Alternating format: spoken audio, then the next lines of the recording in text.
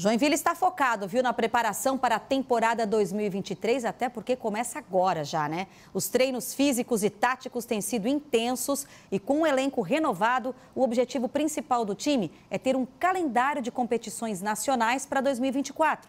E com isso em mente, não há espaço para erros pelo caminho. Mudança, respeito e protagonismo.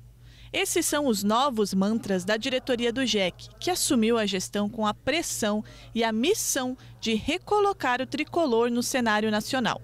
Uma tarefa difícil e que escapou na última temporada. Mas o passado é passado. E no horizonte, o que os torcedores querem ver são vitórias e a tão sonhada vaga para a Série D. Depois de 45 dias de preparação, o Joinville entra na reta final para a estreia no Campeonato Catarinense. A estreia será contra o Camboriú, fora de casa, em um campeonato que o Joinville precisa dar a vida para garantir calendário em 2024. E a expectativa é de um bom campeonato e de um time de muita garra para a torcida tricolor, que está machucada, mas que deve ver um tricolor diferente em campo a partir da semana que vem a gente pensa no momento. Então, o que passou, passou. A gente não pensa nos campeonatos anteriores, a gente está muito focado no objetivo que a gente tem, é, que é recolocar o Joinville no calendário nacional. Focando em todos os momentos, não só na parte defensiva, mas também atacando, tendo coragem para agredir o adversário quando tiver a posse de bola. Montado do zero, o elenco começou a se reunir nas últimas semanas e foi sendo moldado para um campeonato difícil, que vai exigir muito. Afinal, o objetivo é claro: calendário nacional em 2024.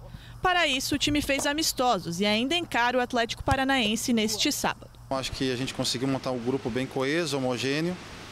E o primeiro desafio nosso era colocar competitividade, né? Ter uma equipe competitiva, que o torcedor é, percebesse uma, um time de fibra, de garra. E isso, com certeza, o torcedor vai ter. A estreia é difícil. Pela frente, o Jack tem o atual vice-campeão estadual mas são 11 jogos na fase classificatória. E tanto os jogadores que chegaram, como aqueles que conhecem bem a cidade, garantem que o time está preparado para a competição. Uma coisa também que eu considero muito importante é que a gente vai ter peça de reposição, né? Não só elevando o nível dos jogos, mas também elevando o nível de treinamento. Então isso ajuda mais ainda a gente estar preparado né, para começar a competição e, e aguentar essa sequência de jogos que vai ser dura, né? Vai ser jogos aí quarto sábado. Então é, exige muito da gente. Né? Fisicamente a gente tem evoluído, isso é importante, a gente tem percebido essa melhora, né? É, o professor Bruno tem dado todo esse suporte para nós, é, junto com a parte técnica também. O entrosamento ele é natural, ele vai vindo com, conforme os treinos, conforme os dias. A gente vai, vai entendendo como que cada um pensa, onde cada um prefere jogar, enfim. Uma competição valendo ainda mais que um título.